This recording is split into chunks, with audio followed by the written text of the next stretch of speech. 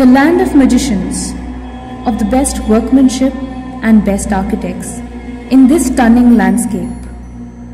An ancient truth, yes, but what lies as its current reality is something else.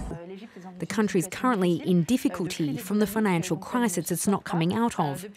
The inflation rate has been around 30% for several months now. There's been another rise in fuel prices which could worsen that inflation, and poverty. It's an aggravating factor, and not the only one for street kids, given the mistreatment and domestic violence to which they're submitted. So the worrying economic situation could easily make things worse for them. Empire now faces immense poverty and resource scarcity. This fight amongst people for scarce resources makes them vulnerable at first and then makes them violent, especially taking out on the young ones and the new entrants into the country. Children in this country face various kinds of violence, ranging from domestic violence to violence on the streets. This manifests itself into three types of violence emotional violence, physical violence, and sexual violence. Many children in Egypt face abuse by those who are supposed to protect and nurture them. There is a difference in behavior in terms of violence in different parts of the country. Violence is considered as the most common form of discipline by sources of authority, particularly teachers and parents, where religious leaders support this idea as part of guiding children to what they believe is the correct path. For your report, a professor suggesting the extermination, killing these street children, it just seems inhuman. Was this an actual serious proposition that he was coming out with? And I wonder how other people reacted on hearing that. It is true that these street kids are very badly perceived in Egypt. We were stopped several times while we were filming by ordinary passers by who stopped Shaima, the main person in the report. They insulted her, they attacked her, saying, Why did you let them film you?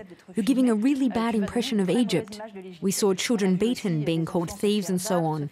So it's certainly true that not only do they have difficult lives, they're really not perceived well by the population at large. It's The extent of violence is gender specific. In Hathor's country, where she was worshipped as the goddess of fertility, motherhood, and pleasure, now has the highest rate of female genital mutilation, making it the most painful day of a girl's life for non medical reasons. To deprive her of pleasure, causing her biological harm.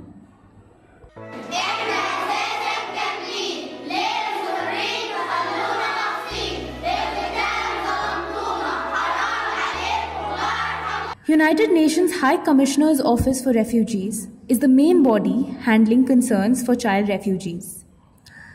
NGOs and private players like Save the Children and SAMU Social are trying to help vulnerable and homeless street children and trying to instill cooperation and brotherhood in them through creative techniques like music and art. Two, three.